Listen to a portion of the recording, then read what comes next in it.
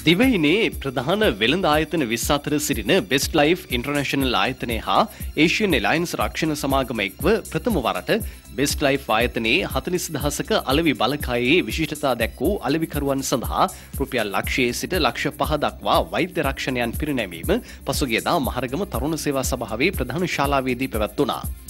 එසේම හම්බන්තොට මත්තල ගුවන්තොටුපල ආශ්‍රිත විදිකර ඇති best life ආයතනයේ එකෝ රිසෝට් හෝටල් සංකීර්ණයේ පැකේජ වෙළඳපොලට පළමුවරට හඳුන්වාදීමද මෙහිදී සිදු කෙරුණා.